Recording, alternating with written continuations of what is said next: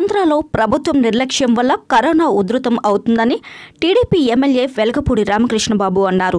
విశాఖలోని టీడీపీ కార్యాలయంలో ఏర్పాటు చేసిన మీడియా సమావేశంలో ఆయన మాట్లాడుతూ విశాఖ జిల్లాలో ఇప్పటి వరకు రెండు వేల తొమ్మిది వందల ముప్పై నాలుగు కేసులు నమోదైతే అందులో యాభై ఒక్క మంది మరణించారని తెలియజేశారు. అయితే టెస్టులు చేసిన ఫలితాలు ఆలస్యం కావడంతోనే ఈ మరణాలు అనేవి ఎక్కువగా జరుగుతున్నాయని తెలిపారు. ఇంకా రెండు వేల మందికి పైగా టెస్టులు చేసిన ఫలితాలు ఇంకా రాలేదు అని చెప్పి నిలదీశారు. కరోనా పేషెంట్లను తీసుకుని వెళ్ళడంలో ప్రభుత్వం జాప్యం చేస్తుంది అని చెప్పి అన్నారు. అంబులెన్స్లు కూడా చాలా తక్కువగా ఉండడంతో టెస్టులు వేగంగా చేసి ఫలితాలు వేగంగా వస్తేనే కదా మరణాలు తగ్గించవచ్చు అని చెప్పి తెలిపారు. అంతేకాకుండా ప్రభుత్వ హాస్పిటల్లో కూడా సిబ్బంది తక్కువగా ఉన్నారని తెలియజేశారు. కోవిడ్ నైన్టీన్ మెడికల్ కిట్లు కూడా ఒకటి కూడా జిల్లాకు రాలేదు అని నిలదీశారు. కరోనా బాధితులకు రెండు వేల రూపాయలు ఇస్తామని ప్రకటించిన ప్రభుత్వం ఇప్పటి వరకు ఎవరికి ఇవ్వలేదని అయితే ఎవరికిచ్చారో చెప్పాలి అని ప్రభుత్వాన్ని నిలదీశారు. ఒకటే ప్రభుత్వాన్ని కోరుతున్నాను.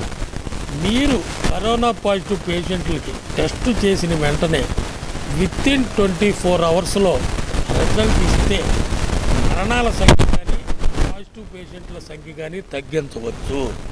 మీరు ఈరోజు టెస్ట్ చేసి ఐదారు రోజుల తర్వాత రిజల్ట్ ఇస్తే ఈ ప్రజలందరూ కూడా వారికి తెలియదు కాబట్టి ప్రజల్లో తిరగటం ఆ ఆ కరోనా వ్యాప్తి చెందటం సీరియస్గా ఉన్నట్టు హై రిస్క్ ఉన్నటువంటి అదర్ కాంప్లికేషన్స్ ఉండి పాజిటివ్ వచ్చిన ఐదారు రోజులు తెలియకపోవటం వలన ఈ మరణాలు సంభవిస్తున్నాయి.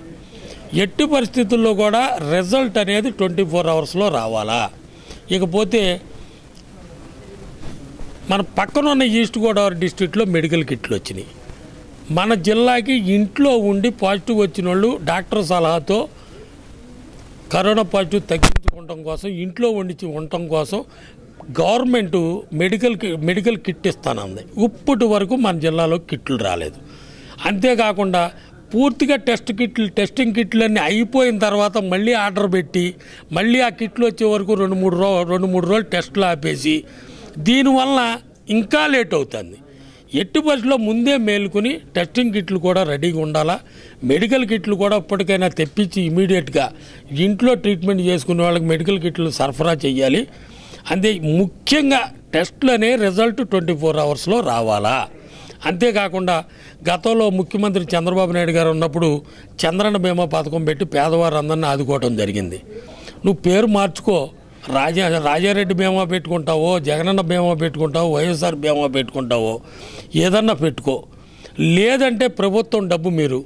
కరోనా పాజిటివ్ వచ్చి చనిపోయిన పేద కుటుంబాలకి ఐదు లక్షల రూపాయలు పరిహారం ఇవ్వాలి.